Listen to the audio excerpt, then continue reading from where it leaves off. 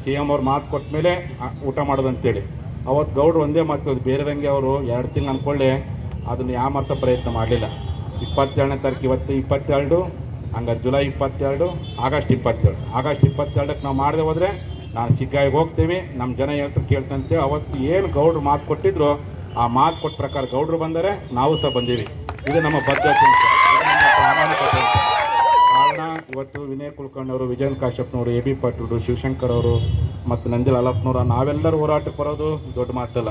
ಇವತ್ತು ರೂಲಿಂಗ್ ಪಾರ್ಟಿಗಿರ್ತಕ್ಕಂಥ ಯಾವೊಬ್ಬ ಶಾಸಕರು ಸಹ ಎಲ್ಲಿ ಮುಂದಿನ ಸಲ ನಮ್ಮ ಟಿಕೆಟ್ ಕೊಡ್ತಾರೆ ಇಲ್ವೋ, ನಮ್ಮ ಅನುದಾನ ಕೊಡ್ತಾರೆ ಇಲ್ವೋ ಯಾಕಪ್ಪ ಎದುರಾಕ್ಬೇಕು ಅಂತೇಳಿ, ಎಲ್ಲ ಗೌಡ್ರಿಗೆ ಕೊಳ್ಳೆ ಕಟ್ಟೇವೆ ಅಂತೇಳಿ ಅವರೊಬ್ಬರನ್ನ ಇಷ್ಟ ಮಾಡ್ಯಾರ ಆದರೆ ಅವ್ರು ಎಂದೂ ಅಧಿಕಾರಕ್ಕೆ ಆಸೆಪಟ್ಟಿಲ್ಲ ಮೊನ್ನೆ ಸತ ಮುಖ್ಯಮಂತ್ರಿಗಳು, ಇಲ್ಲ, ನಿಮಗೆ ಮತ್ತೆ ಕರೆದು, ನಿಮಗೆ ಅದು ಕೊಡ್ತೀವಿ, ಇದು ಕೊಡ್ತೀವಿ ಒಂದೇ ಮಾಡ್ತದೆ ನೋಡ್ರಿ ಬೊಮ್ಮಾಯಿ ಸಾಹೇಬ್ರೆ. ಅಗ್ಲೆಲ್ಲ ಕರೆದು ನಾನು ಡಿ ಸಿ ಎ ಮಾಡ್ತದ್ದು ಏನು ಬೇಡ.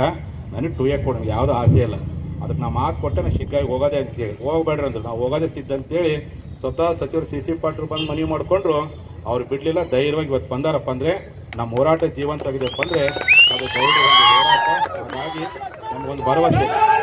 ಆ ಕಾರಣಕ್ಕೆ ನಮಗೇನಪ್ಪ ಅಂತಂದರೆ, ನಿಮಗೆಲ್ಲರೂ ಒಂದು ರೀತಿ ಕಂಪೇಜ್ ಇತ್ತು. ಏನಪ್ಪ ಗೌಡ್ರು ಸಿಗೋ ಬರ್ತಾರೆ ಇಲ್ಲೋ, ನಿನ್ನಿಂದ ಎಲ್ಲ ಚರ್ಚೆ ಮಾಡ್ತಾ ಇದ್ರು. ಅವ್ರು ಒಂದು ಮಾತು ಕೊಟ್ರಪ್ಪ ಎಂದೂ ತಪ್ಪಲ್ಲ. ಕೂಡಲ ಸಂಘದ ಪಾದಯಾತ್ರೆ ಶುರು ಮಾಡ್ಬೇಕಾದ್ರೆ ಎಲ್ಲರೂ ಮೋಸ ಮಾಡಿದ್ರು.